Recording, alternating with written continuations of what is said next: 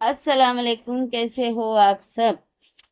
तो जी पायल मलिक ने लगाई एक टाइटल के अरमान को पब्लिक बहुत प्यार कर रही है और कमेंट में लोग जाके उसकी इतनी दुर्दशा कर रहे हैं कि कौन है वो पब्लिक जो प्यार कर रही है। आप लोगों ने देखा होगा बिग बॉस में बीते दिनों जो भी हुआ, जिस तरह से विशाल के कैरेक्टर के ऊपर उंगली उठाई गई, सभी पूरे ही घर वालों ने उठाई। और कहीं ना कहीं वो सही था, गलत था, जो भी था। खैर, उसके ऊपर तो हम बात नहीं करते हैं, क्योंकि उसके ऊपर मुझे कहीं कहीं लगता है कि विशाल भी गलत था और अरमान भी गलत था वहाँ पे, क्योंकि अरमान ने कोई अपनी बीवियों को ऐसा पर्दे में रखा नहीं है, जो वो इतना गुस्सा कर गया कि मेरी बीवी को कॉम्प्लीमेंट क्यों दिया गया? जबकि वो खुद जाके सबसे पूछती रहती है, मैं कैसी लग रही हूँ, मैं कैसी लग रही हूँ? तो पीछे से अगर किसी ने दे दिया तो कौन सी बड़ी बात थी भाई? और उसकी बीवियों को तो लोग इतनी गालियाँ देते हैं कमेंट में भी वीडियो बना के भी, और ऐसे भी बहुत गालियाँ पड़ती है, तब वो कोई एक्शन क्यों नहीं लेता? बिग बॉस के घर के अंदर उसने जाके एक चमाट मार दिया, जो कि बिल्कुल भी सही नहीं था। खैर, वो बातें तो बीत गई। अभी की अगर न्यू अपडेट के ऊपर बात की जाए तो इस तरह का टाइटल लगा के पायल, ये जताना चाह रही है कि ऑडियंस अरमान को पसंद कर रही है तो बिल्कुल भी नहीं। ज़ाहिर सी बात है, जहाँ पे झगड़े, लफड़े और इस तरह की चीज़ें होती है ना तो वहाँ पे व्यूज़ ज़्यादा ही आते हैं। कोई सिंपल सादा सा वीडियो बनाएगा ना तो वहाँ पे व्यूज़ नहीं आएँगे। लेकिन हाँ इस तरह की जो फैमिली है, जैसे यासिन फैमिली ले लो, अकबर फैमिली ले लो, या ये अरमान मलिक हो गई, पायल, कृतिका, इन सबको ले लो। और जो भी लोग इस तरह का गंद कर रहे हैं, उनको ज़ाहिर सी बात है व्यूज़ आते ही है। उसका ये मतलब नहीं है कि ऑडियंस आप लोगों को पसंद कर रही है। खैर, इस बात के ऊपर रहने देते हैं। आप लोगों को क्या लगता है कि पायल सच में कृतिका के साथ में मोहब्बत वाला रिश्ता रखती है? या उसको पता है कि अरमान कृतिका को दिल से प्यार करता है और इसको सिर्फ़ और सिर्फ़ दिखावे के लिए करता है? या इसको दिल से प्यार करता है, उसको दिखावे के लिए करता है? क्योंकि इस वीडियो में पायल वो कमेंट पढ़ थी जो कि कृतिका के खिलाफ थे कि वो तो आपको याद नहीं करती है, वो बहुत चालू है, वो बहुत चैप्टर है, वो अच्छी नहीं है। हालाँकि कमेंट तो और भी बहुत सारे थे जिसमें अरमान को भी गालियाँ रही थी, पायल को भी पढ़ थी, कृतिका को भी पढ़ थी, लेकिन इसने गिन चुन के सिर्फ़ वो वाले कमेंट निकाली जो कृतिका के लिए खराब थे। तो मुझे ऐसा लग रहा है कि वो जो वीडियो वायरल हुई है ना, जिसके अंदर अरमान गंदी हरकतें कर रहा है मतलब प्रॉपर हरकत किया है उसने, वो वीडियो के बाद में मुझे लगता है पायल को कुछ ज़्यादा ही बुरा लग गया है, जिसकी वजह से उसने आके ये वाले कमेंट पढ़ना शुरू कर दिए। खैर अदनान के लिए पायल का क्या कहना है, पहले वो सुन लेते हैं। इस ये गेम देखने में बहुत मज़ा आया, बहुत ज़्यादा मज़ा आया। जो बाहर से इतना बड़ा शेर, बब्बर शेर बन के गया था ना, वो अंदर जाए के टाइम टाइप फ़िश हो गई उसकी, क्योंकि एलविश आर्मी से शायद डर लग गया है और कटारिया के फेवर में जाके खड़ा हो गया। अच्छा लग रहा है देखना कि एलविश आर्मी से सब लोग डर रहे हैं। तो नान की फट गई भी कटारिया से। उसने अपने घुटने झुका दिए जाते ही। बड़ा बब्बर शेर बन के गया था। दौड़ के गया था। अब मैं उसे बताता हूँ। ये देखो, अंदर मूसा बन गया, मूसा चुईया तो जी, इसके बारे में आप लोगों का क्या कहना है? आप लोग भी अपनी कमेंट में राय ज़रूर देना। बाकी मैं इस बात से सहमत हूँ पायल की, क्योंकि मुझे भी लगा था कि वो बाहर जो इतनी बड़ी बड़ी बातें कर रहा था, मैं तो ये कर दूँगा, वो कर दूँगा, अभी तक के तो गेम में कोई मज़ा ही नहीं आया है। अभी तक के कोई कुछ नहीं कर रहा है, मैं जाने के बाद करूँगा। तो सच में, अदनान के जाने के बाद में लग रहा है कि उसने अपने घुटने टेक दिए हैं। और जिसको वो दोस्त बना रहा था, बाहर से बता रहा था कि ये मेरा दोस्त है और इसको वो कटेरिया यूज़ कर रहा है। उसके जाने के बाद में वो अलग खाना खाता है। उन लोग की दोस्ती उसी तरह से है। विशाल की, कटारिया की उसी तरह से है जो इसके जाने से पहले थी। और जिस तरह से ये बाहर से शेर बनने की कोशिश कर रहा था, अंदर जाके सच में ये भीगी बिल्ली बन चुका है। और जो बिग बॉस से इसको आए दिन क्या बल्कि रोज ही डांटी पड़ते रहती है, रोज इसकी जो बेइज्जती करता है बिग बॉस, वो अलग इसको और खुश कर रहा है। और वो जो मंच पे ये आया हुआ था, जब इसकी एंट्री थी, वही दिन अनिल कपूर ने इसको डांटी दिया। और तभी, ये तो मेरे ख्याल से तो तभी ये फूस हो चुका था, जो अनिल कपूर ने इसको बोला कि सीधे से खड़े रहे। हिल क्यों रहा है? सीधे से क्यों नहीं खड़ा हो रहा है? तभी मैं समझ गई थी कि इसके अंदर कोई दम नहीं है, ये सिर्फ़ और सिर्फ़ बड़ी बड़ी बातें कर रहा है, ये अंदर जाके कुछ भी नहीं करेगा। तो बिल्कुल वैसा ही हुआ कि वो अंदर जाके कुछ भी नहीं कर रहा है, सिवाय डांटी खाने के। उल्टा वो डांटियाँ खाए जा रहा है। कभी बाहर की बात करके डांटी खाता है तो कभी आगे का फ्यूचर बताता है तो डांटी खाता है। कभी क्या तो कभी क्या। अंदर जाके वो एकदम टाइम टाइम फ़ीस सच में हो चुका है। बाकी आप लोगों को क्या लगता है, अदनान कैसा कर रहा है?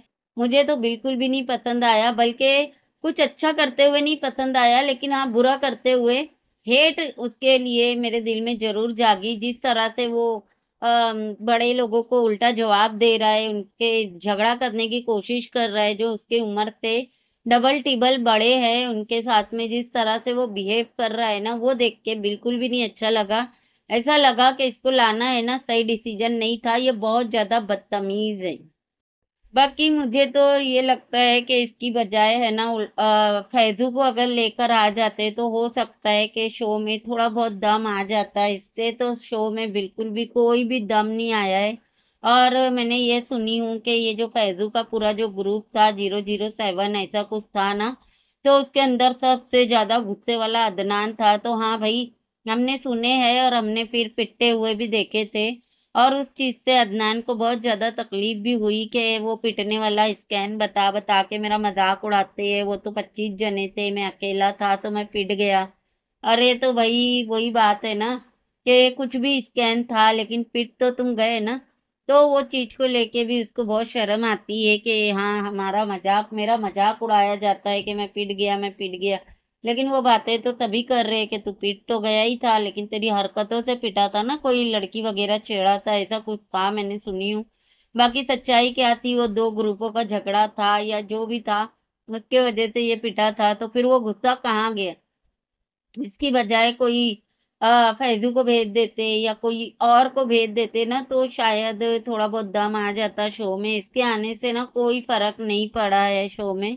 बिल्कुल भी फ़र्क नहीं पड़ा है। उल्टा है ना, एक बंदा बढ़ गया है, खाना खाने वाला और जगह घेरने वाला। मुझे तो ऐसी लगता है कि इसके अदनान के आने से ना, मुझे तो बिल्कुल भी मज़ा नहीं आया और बिल्कुल भी कोई फ़र्क नहीं नज़र आया, बल्कि टाए टाए फ़िश वाला ही काम हो गया।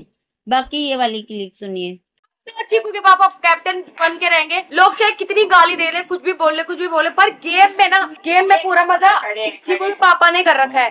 उनकी किसी से नहीं फट रही। कोई भी आगे कुछ भी करे, कुछ चाहे कुछ भी बोले, उनकी नहीं फट रही। तो आप लोग कमेंट में ज़रूर बताना कि आप लोग पायल की इस बात से कितने सहमत है। अगर मैं अपना बताऊँ तो मेरे को लगता है कि उसकी अच्छी खासी फट रही है, तभी तो उसने ऐसे लोगों का साथ लिया है, जहाँ पे उसको मतलब उसकी जहाँ पे फट रही है ना, वही लोगों का उसने साथ लिया है, वही लोगों के साथ में वो जुड़ा है। क्यों? क्योंकि उसको अच्छे से पता है कि बच्चों के ऊपर तो मैं ज़ोर जमा सकता हूँ, लेकिन बड़ों के ऊपर नहीं और जब बड़ों के मुँह लगेगा ना तो जितनी इसकी धुलाई होती है ना, उससे डबल धुलाई होने लगेंगी। वैसे ये भी कम छोटा तो नहीं है, बड़ा ही है। और पायल अपने मुँह से बोल रही है, चाहे कोई कितनी भी गालियाँ दे। लेकिन आ, आ, मतलब कैप्टन तो चिकू का पापा ही बनेगा मतलब अरमान मलिक बनेगा। तो वो जिन लोगों के साथ में बैठा है ना उनकी बदौलत बना है बाकी उसके काम ऐसे है ना कि वो तो घर में भी ना रह पाए अगर घर वालों का बस चले तो।